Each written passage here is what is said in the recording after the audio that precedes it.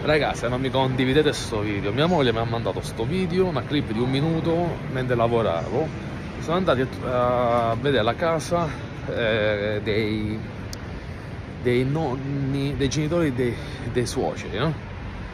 per, per, vedere un po' se la devono sistemare o meno. E si sono fermati all'autostrada, all'auto grill, per comprare qualcosa da mangiare. E mia moglie ha filmato il bagno dedicato ai bambini, quello è il bagno specifico per i bambini, ragazzi c'è nel loro bagnetto, hanno tutte le cose loro. Vedete come è lindo e pinto? E c'ha il fasciatoio e hanno un, una cartellina, no? Dove la dipendente in servizio ogni ora passa e controlla il bagno e mette il timbro e la firma. Se manca qualcosa la inserisci quella carta igienica quella quell'altro pulisci. Ogni singola ora viene fatta una cosa del genere a turni, o dipende se sono, se sono tre dipendenti, si danno il turno, adesso lo faccio io, dopo lo fai tu, oppure oggi tocca a me, domani tocca a te, domani tocca a un altro.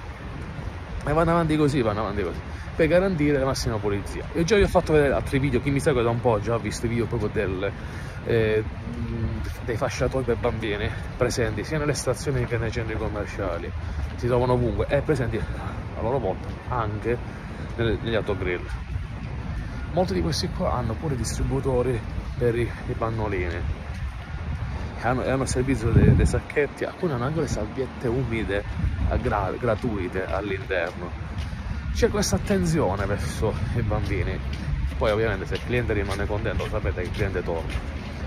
Quindi le, le autogrill alla fine giapponesi vanno eh, ci tengono perché se una persona lascia una recensione negativa ne paga le conseguenze anche il dipendente. E io trovo una cosa molto bella.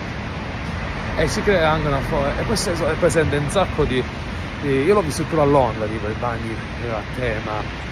Però diciamo qua in Giappone sono, sono molto più tenuti bene. Alcuni centri commerciali hanno dei bagni spettacolari proprio sono straordinari. Ed è sempre diviso. Hanno la macchinetta pure per scaldare il latte è il distributore per i succhi di frutta eh, eventualmente quindi fatemi sapere cosa ne pensate. Perché io quando faccio questa domanda fatemi sapere cosa ne pensate perché molti di voi non mi seguono solo dal, dall'Italia ma dall'America, dalla Germania, dalla Francia, dall'Inghilterra dalla Thailandia e così via, dall'Africa. O persone che mi seguono da tante parti del mondo eh, dall'America, nord, centro, sud, Sud America. Quindi fatemi sapere voi dove vivete, com'è la situazione, come viene gestita questa cosa qua. Vi mando un grande abbraccio a questa parte del mondo e ci vediamo. Ciao!